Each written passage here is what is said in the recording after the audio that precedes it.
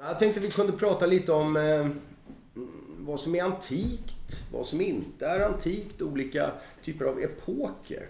Det finns ju, man känner till, men ni känner säkert till att ni har hört eh, rokoko till exempel. Ja, men det är kanske är en epok då, då. Ja, då tänker man kanske på möbler och, och sirliga guldramar. Eller så tänker man på eh, gustaviansk stil då. Eh, och det är ju efter kungen och den eh, kom ju från Frankrike, tagen av Haupt. Och han byggde möbler och därför så känner man kanske igen sig i att en byrå av Georg Haupt eh, kallas för gustaviansk stil. Ja, det stämmer.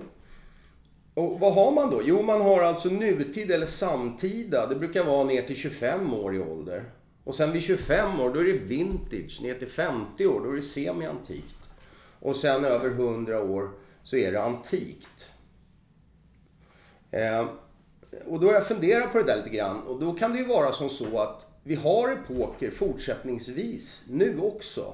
Även fast vi bara kommer ihåg då till exempel rokoko och sen så har vi gustavianskt. Innan dess var det barock och renässans. Och sen så kommer då eh, art nouveau eller jugend och sen kommer art deco som ju är den stilistiska eh, sidan av jugend kan man säga.